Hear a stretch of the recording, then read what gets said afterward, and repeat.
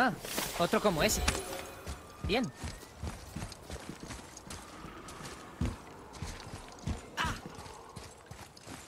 Ah, ya sé leer lo que pone. Pero es un nombre. Eir. Oh, con el nombre se ha encendido. Es el nombre de una de las Valquirias. Qué curioso.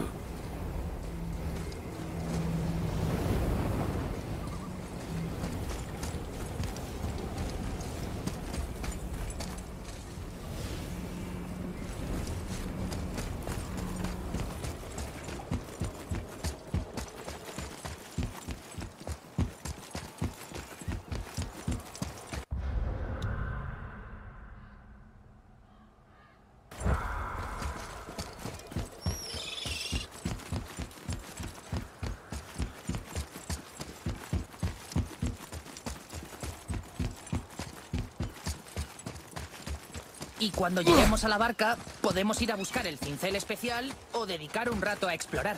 Me parece bien cualquier opción que elijas.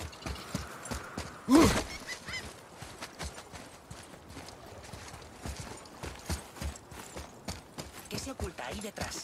No hay llave terrenal ni fuerza que atraviese la magia de esa cerradura. Ni lo intentes.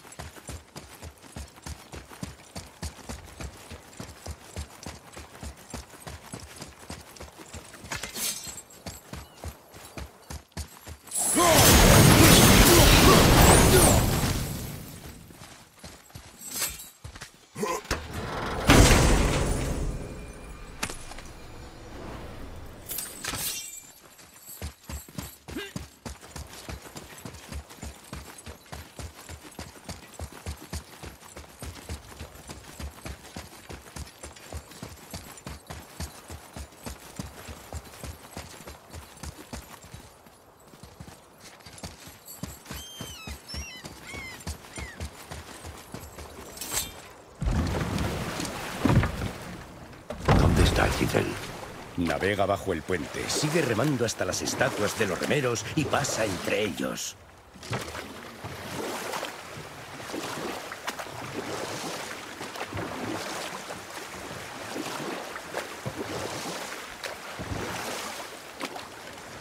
Mimir, nunca me contaste por qué Freya te escupió en la cara.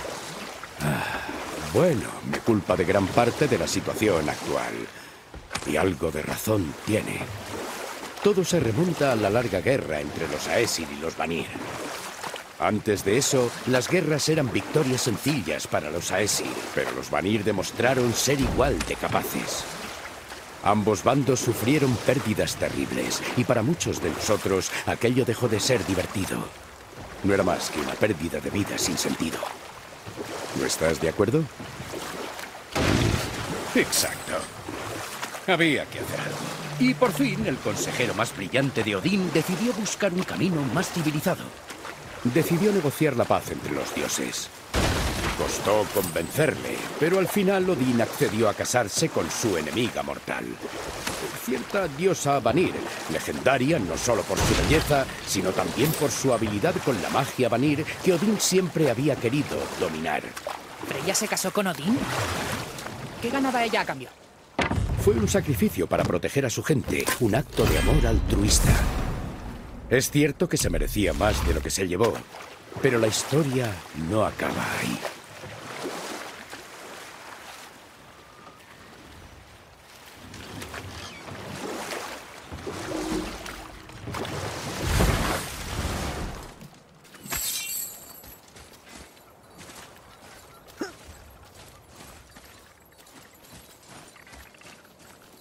Pesadillas, pestes asquerosas. Tienes que enseñarme eso.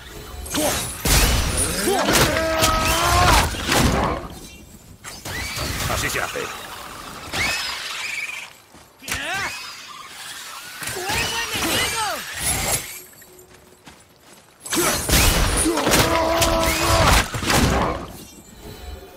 Con esto hemos acabado.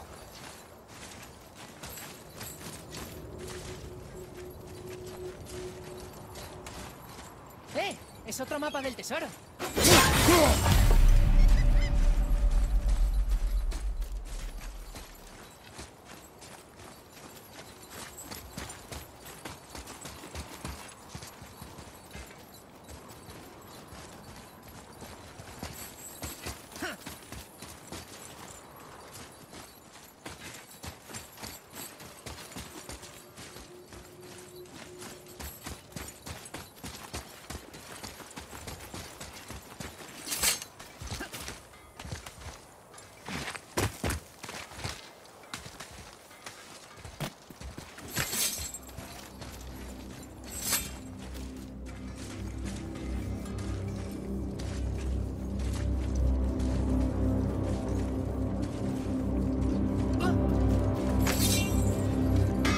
La línea entre la ambición y la codicia es muy fina.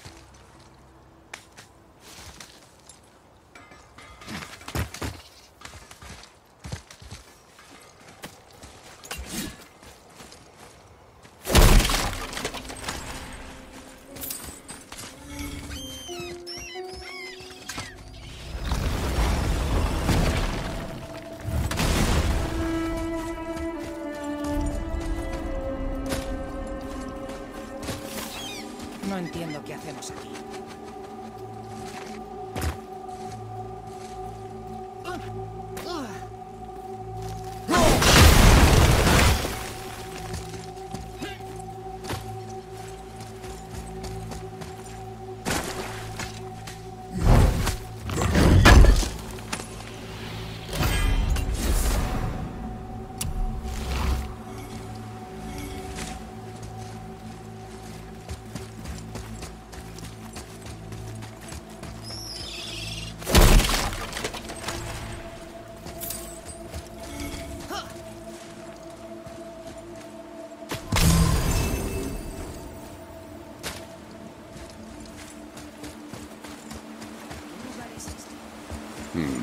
Podría ser los ocho tronos. Déjate de evasivas. ¿Conoces este lugar o no? Soy Mimir, el más listo del mundo. Sé muchas cosas. Sea lo que sea, este sitio parece importante. ¿Para quién? No hay nada de valor aquí.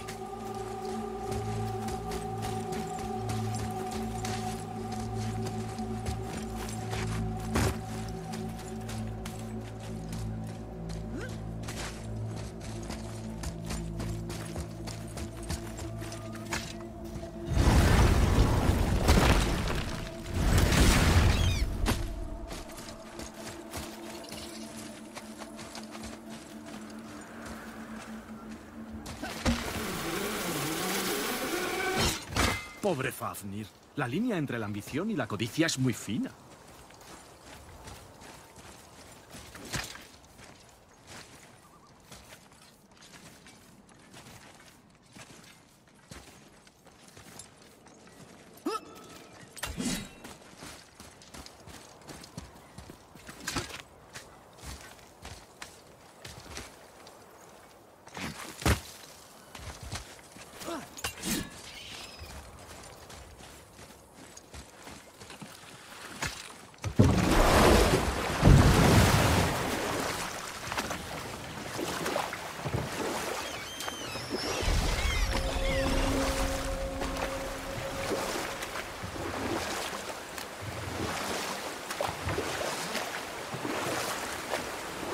No puedo creer que Odín y Freya estuvieran casados. El amor y el odio están más entrelazados de lo que te imaginas. Por ejemplo, Odín odia a los gigantes y estos le odian a él. Pero la madre de Thor era la gigante Fjordin, a quien Odín amaba. Basta, se acabaron las historias, al menos mientras andamos. Entiendo perfectamente. Terminaré más tarde.